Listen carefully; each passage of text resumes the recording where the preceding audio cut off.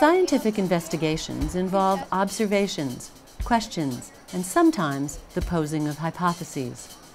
My hypothesis was that the sunfish family would like make the zebra mussel population decrease. The hypothesis is tested and retested.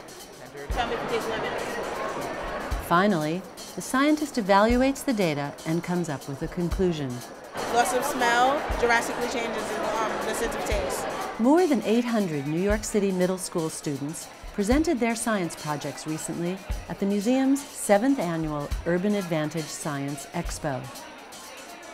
Our uh, project's title is How Does the Color of Text Affect Reading Comprehension? Our hypothesis was that, you know, the color would be red because we think that, you know, red is used in many cases for getting attention.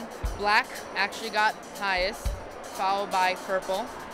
After that, it was red, then green, then blue. We found out that that's probably why black is used more in ink color. The Kelvin Thunder Dropper was invented by Lord Kelvin. This is one of his more bizarre and far-out experiments. Quick summary. Water goes in here, and there are two holes in this reservoir.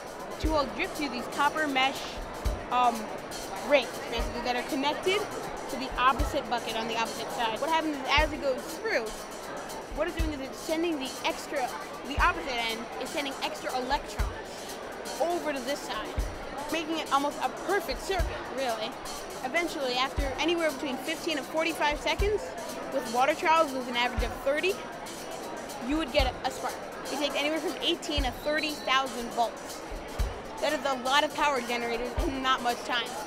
The students who built the Kelvin Thunder Dropper were among nearly 39,000 students across the city who took part in Urban Advantage this year.